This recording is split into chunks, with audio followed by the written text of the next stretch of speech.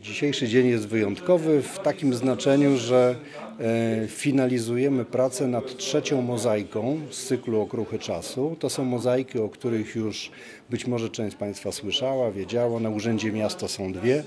Teraz kończymy trzecią. Trzecia jest poświęcona zwycięstwu legionowskich pilotów w zawodach o Puchar Gordon Beneta. Pierwszym zwycięstwie w roku 1933 nasi piloci z naszym balonem Kościuszko polecieli do Chicago i tam zwyciężyli e, hardkorowo ten konkurs i potem w kolejnych latach również odnosiliśmy wiele sukcesów. Okazało się, że polska e, sztuka baloniarstwa jest wyjątkowo niepowtarzalna. Ostatni sukces odnieśliśmy w 2018 roku.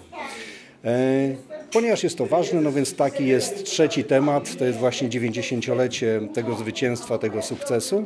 Natomiast tak jak w poprzednich latach, e, współpracują przy tym projekcie, e, współpracuje dosyć duża grupa osób. Są to seniorzy z klubu Seniora Amicus, są to dzieci ze szkoły na Legionowskiej, na Jagiellońskiej 69, Fundacja Promień Słońca, warsztaty terapii zajęciowej Świętej Rity. Wolontariusze z Legionowa, a dzisiaj mamy takie trzydniowe spotkanie finalizujące, gdzie e, grupa, nieformalna grupa, która od kilkunastu lat funkcjonuje w naszym kraju o nazwie dźwięcznej Easy Art, również przyjeżdża do nas, pomaga nam w tych zajęciach.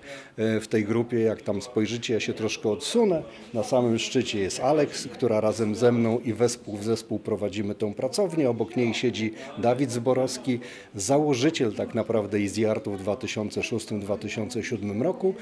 E, to jest takie, takie stowarzyszenie nieformalne, które skupia prawie 3000 osób w naszym kraju, które po prostu wykonując swoje normalne e, zadania, czynności, zawody, e, lubią robić witraże i mozaiki. Fantastyczna grupa, ciekawe spotkania. Natomiast skupieni jesteśmy na zawodach balniarskich, no i powstanie trzecia mozaika, która ozdobi mamy nadzieję najpóźniej na początku października, e, e, jeden z murów już znanych przy fontannie, przy Urzędzie Miasta. No i czekamy na kolejne. W przyszłym roku mamy plan z wykonania e, wyjątkowej mozaiki poświęconej Powstaniu Warszawskiemu, które jak wiecie w Legionowie się odbyło. Trwało być może niedługo, ale historycznie jest to dla naszego miasta bardzo ważny fragment i mamy nadzieję, że również ozdobi mury e, Urzędu Miasta. Tutaj wszyscy są mile widziani, znaczy oficjalnie spotykamy się we wtorki od 17 do 20.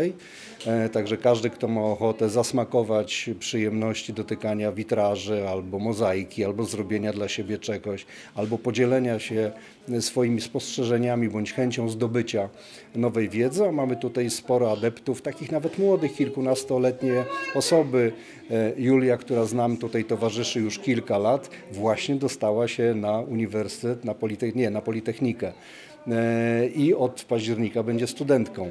Także to są takie fajne rzeczy, bo przychodzą ludzie, którzy, my od nich nic nie chcemy, oni nie chcą od nas nic, natomiast w miłej atmosferze związanej z muzyką, taką chilloutową najczęściej, bez polityki, siedzimy, spędzamy czas y, kilka godzin w tygodniu, kilka godzin dziennie w zależności od potrzeb, po to, żeby realizować taką właśnie wyjątkową pasję, jaką jest witraż albo mozaika.